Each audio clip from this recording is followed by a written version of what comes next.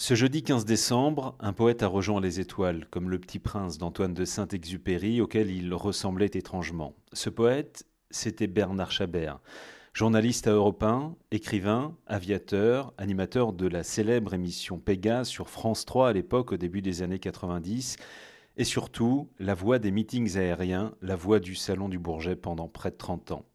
Bernard avait une manière extraordinaire de partager et de vulgariser les choses de l'air, jusqu'à comparer le pilotage d'un vieux Cessna 172 à l'onctuosité d'une bonne blanquette de veau. Avec Bernard, tout devenait léger et passionnant, sans snobisme ni élitisme, mais avec classe et élégance.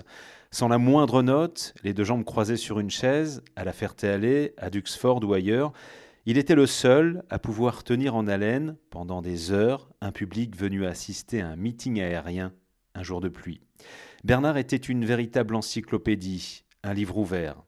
Avec le plus grand sérieux, il savait vous parler d'une armée de petits nains tapant sur les culasses d'un moteur Merlin pour évoquer la douce musique d'un Spitfire et vous captiver en évoquant la vie de Donald Douglas, installé à ses débuts dans l'arrière-boutique d'un salon de coiffure en Californie.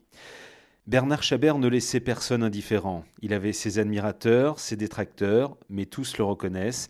Il était l'homme qui vous donnait envie d'aimer l'aviation. Bernard savait de qui tenir, son père, qui fut pilote dans l'aéropostale.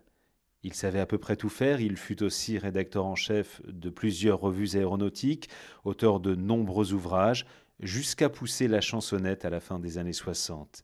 Il s'était éteint chez lui à Andernos, dans le sud-ouest, dans son hangar, au milieu de ces avions de collection qu'il aimait tant et qu'il connaissait si bien. Ta voix va nous manquer, Bernard. Bon vol.